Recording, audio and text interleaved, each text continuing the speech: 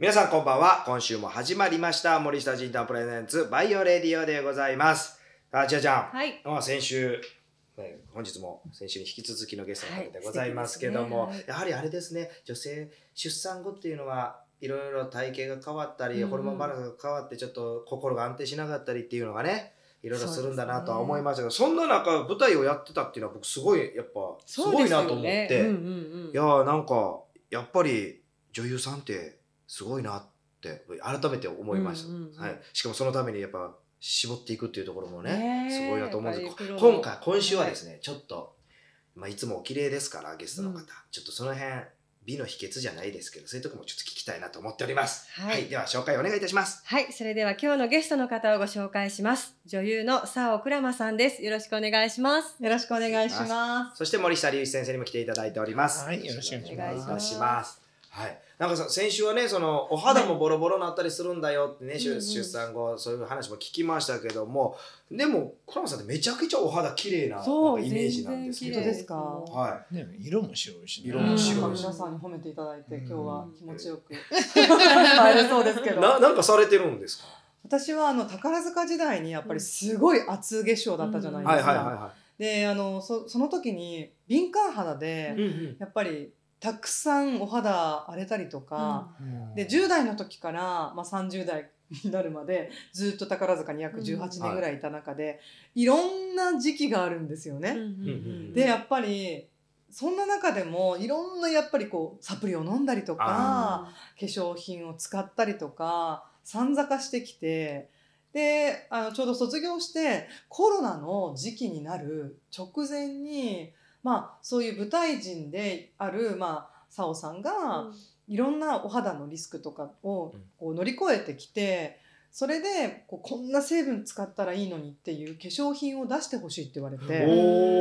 もともとまあ広告塔になってほしいって話だったんですけど、はい。ゼロから作るっていうお話を伺ったのうんで、素敵、なのでじゃあ私も監修というかプロデュースに入らせてくださいっていうことで、うん。まあ、私がプロデュースしてあのイフナチュールといって、うんまあ、もしこうなれたらという,、こう宝塚ってこう憧れて入るんですね。それと同じでこう若い頃から憧れてこんな人になれるようにっていう思いでお化粧水を使えたらいいなと思って、うんあのお化粧水とクリームで、うん。2ステップでまあ完了できるようなスキンケアをプロデュースさせていただいたんですよ。おであの今結構あの舞台人の方々に使っていただくとすごい男女みんな今日なんかえすごい喜んでくれて、うん。なんか使いやすいみたいなんですよやっぱり。ーいいな。あのちょっと一個質問なんですけど、はい。宝塚の時のそのお化粧っていうのはそのまあ舞台用のお化粧道具だと思うんですけど、はい。そのああいうのって僕そんな厚塗りの舞台とかま出たことないんですけどねね。はい。どどういうあれ成分ってやっぱよくよくないでお肌にはやっぱり結構強いんです。であの昔の、もう昔からの伝統で使われているような もう古風な、もうなんか化粧品とかをそのまま代々受け継ぐので、はあ。もうなんかなんて言うんだろう顔を洗った瞬間に、はい。これクレンジングにいいよって言われて顔を洗った瞬間全てがなんか落ちすぎてカピカピ。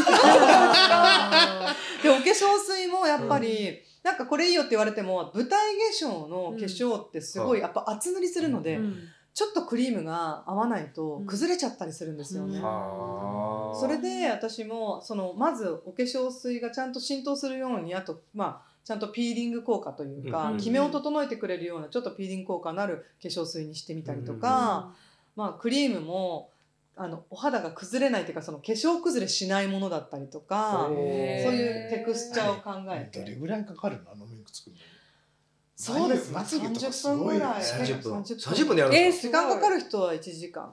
か自分でやるんです。自分でやるんえですよ。自分でやるの？歌舞伎役者と一緒っすね。そうですね、うん。歌舞伎役者さんと一緒です。やっぱり伝統芸能で、ね、100年以上続いてるものって皆さんやっぱ自分で先輩に教えていただきながらやるんですけど。だってまつげだって今度モスラみたいな感じそうもうおすら確かに羽ばたいてます。羽ばたいてるよね。そう。だってまあ遠いとこからねまつげがピンとなったのが見えなきゃいけないしね結局。そうなんですよ、うんでもうずっと舞台やってるので、はい。結局なんかよくねピーリングしてうん。乗り越えたらお肌がもう一つ向けて綺麗になるみたいな、あのクリニックとかに行くとあるんですけど、はい。そういうのもできないので、はい。あのバクチョールってご存知ですか？爆腸っていう成分があってはい。次世代レチノールって言われてて、うんあのちょっとビタミン系のものなんですけど、あの敏感肌の人にも、うん。そのまあ、ターンオーバーを乗り越えなくても、そのなんていうのまあ肌荒れしないでちゃんとピーリングしてくれて、おっていう成分とかいろいろもうこだわって入れて、はいはい。で香りとかもちょっとコロナの時期にちょうど突入する寸前に、あの香りとか選んだので、うん。ちょっと気持ちを落ち着かせたりとか、はいはい。これから仕事頑張ろうってこう前向きになれるようなうん。ジャスミンとゼラニウムの香りを入れたりとかして、へちょっとそれで作ったんです。すごいこれ。そうで今さっき言いましたけど男性の舞台役者さんとかでも結構ねいいって言ってたそうなんです。なんか結構リピートしてくださってて、うんまあねファンの方々はすごい喜んで使ってくださるんですけど、やっぱりそのお肌ってすごくねいきなり崩れていきなりこう改善させようと思っても無理なんで、はいはい。やっぱ若い頃からエイジングケアじゃないですけど、うん意識していかないと、うん。突然ねたるんでしまったものを戻すのは難しいんで、うん。確かにケアしていかなきゃいけないそうそれはそれは予防が一番簡単。うん予防やっぱり予防美容ですよね。そうなんですよ。えこれってあの開発する時って、まあ、一回これ作ってみま試供品を何回も何回も自分で試したり、まあ、人に試してもらったりしてやってそうですね。なんかメンバーが20代から30代の若い子たちが多かったんで、はい。もうあの家にもそのサンプルを持って帰って試供品持って帰って、母とかにもからもうもう50代60代70代80代ぐらいまでの方にちょっと1日使ってみてくださいって言って、テクスチャーがちょっととか、うん。結構いろいろ言われて、直したりとか、う。んもう何度も何度も2年ぐらいかけて、うんそうなんですすごい。2年かかってんですね。でも楽しいんですよプロデュースって。へえねたたのなんかいろいろあまあ確かに。先生もいろいろね出来上がったら。うん。なんかやっぱりこだわりというか、はい。自分がそこにやっぱり時間をかけてくる、うん苦しんできたものが、やっぱ形になったというか、うん。乗り越えたものが経験がその形になるというか、いいです。うん。そうなんです最近ご活躍だからね。こう外見をこうね化粧水とかそういうので、うん。そ化粧品でね外見を今こうプロデュースされてるからぜぜひジンタンさんと中身をきれいにする方のやつのプロデュースをやってもらっでて、もね最近ねよく会ってんのよ。はいはい、タクシーで。タクシそうタクシーのあ。そこのね CM じゃない、うん。ーうんうん。あそこにしょっちゅう出てくるの。あ私が。そうそう一時期ちょっとねあのはい。キーエンドウ豆の、そうエンドウ豆ならパスタの線でした。あれキーエンドウ豆100%の、うん。あ麺ですか？あそうです、うん全部ヌードルっていうんですけど、うんうんうん。それの広告をさせていただいてたの、サイネージのはいタクシー内の、そうなんです。まあそれもだから本当インナーケアというか、うん。まあグルテンフリーだったりとか、はいはいはい。そのグルテンが悪いっていうわけじゃないんですけどやっぱりちょっとまあ腸壁とかね、はいやっぱ疲れてしまってる時とかにやっぱりお腹のうんうんうん。腸腸の腸内環境的にもやっぱ吸収を弱めてしまったりする時もあるので、ね、疲れてる時にグルテン、ね、抜いたりとかする人いるじゃないですか。はいはいはい。私もそれ同じの食べましたこの間。あ本当ですか？めっちゃ美味しかった。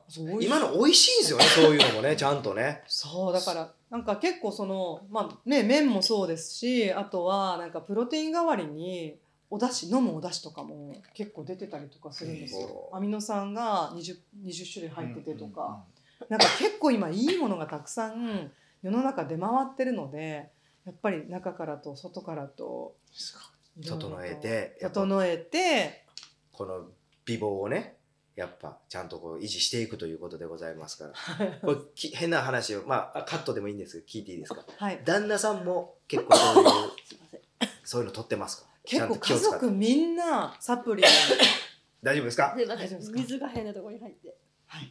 あ家族みんなサプリ取ったりして。家族みんなでサプリを飲んで 取ったりとかしてます。であとはやっぱり実はその他にも私 あのまつげアイセラムとかもアイセラムってなんですか？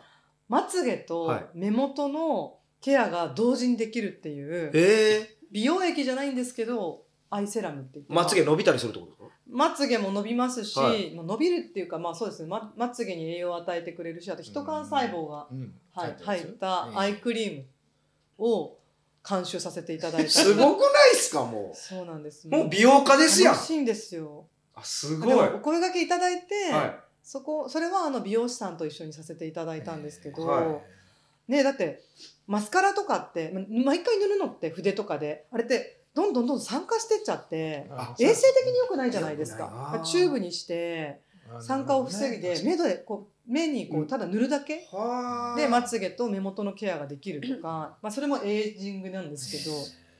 あのまつげ伸びる薬みたいな一時流行ったじゃないですか、うんあれほんまに伸びますもんね、僕もめちゃくちゃ伸びたんで。なんでそんなんでやったんですか？いやなんかわかんないですけどたくさん試供品もらって飲み続けたらめっちゃ伸びて。あ飲むやつですか？飲むやつでしょ錠剤の。でも全部入るでしょ？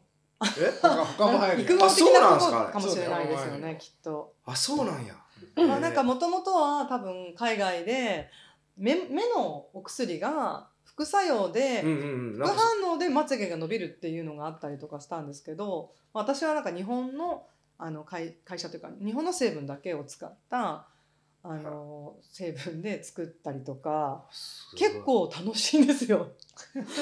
これ結構じゃから興味あったのあねそうそう。もう宝塚時代からそんないやなんかねそのやっぱ化粧化粧品の、えっと、開発に携わってでその後実は多目的、多目的洗剤。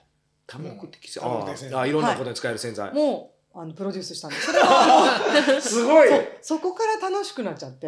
えー、何それ？だって作ったらいいじゃんみたいな。そうそう、うん。作ってしまえばいいみたいな、それすごいっすね。そもうだからいろんな仕事が来るんですね。だからプロデュース業の。うそうですね。いや今今一番やりたいプロデュースなんかあるんですか？言っといたら来るかもしれ今ない。はですね私は今までお世話になった方々と一緒にできるマルシェをしたいんです。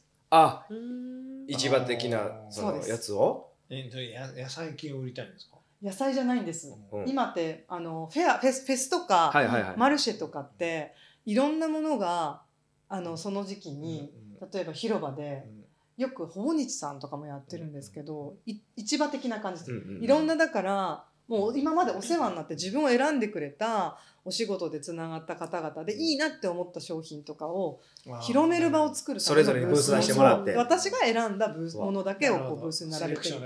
そうそういうちょっといいですね。フェスをいつかやりたい。クラマフェス。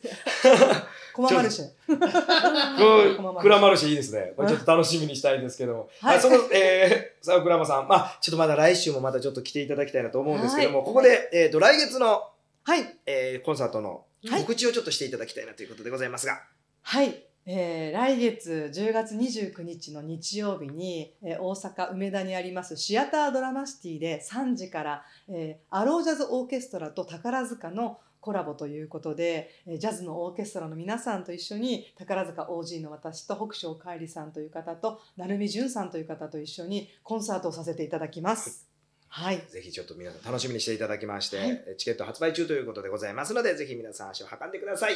ということで今週はこの辺でお別れです。また来週お待ちしております。ありがとうございました。ありがとうございました。